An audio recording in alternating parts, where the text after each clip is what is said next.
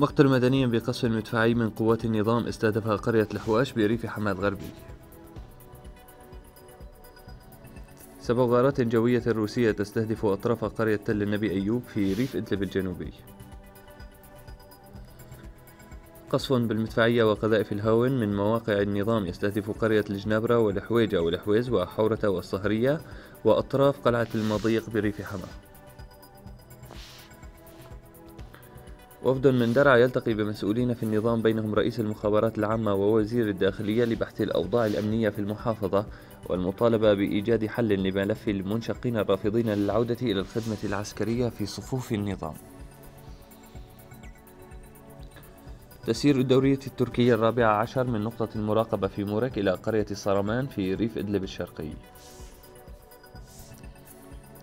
بدء صيانة وتزفيت طريق خناصر جنوب حلب من قبل الإسكان العسكري التابع للنظام بعد مقتل عشرات المدنيين والعسكريين بحوادث سير على الطريق.